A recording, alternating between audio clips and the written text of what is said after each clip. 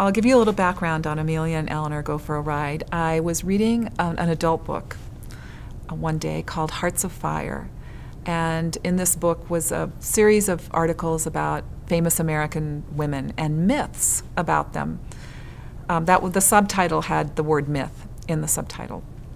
So I came across this one paragraph about this evening in 1933 when Amelia Earhart spent the night at the White House and took Eleanor Roosevelt for her first night flight over Washington, D.C. Well, because the word myth was in the subtitle of the book, I thought, oh, I wonder if this is true or not, or maybe it's just one of those stories like George Washington cutting down the cherry tree. So I went to the big library in San Diego and went on the microfiche, the, the Associated Press microfiche, because I figured if it was true, it would have made the press.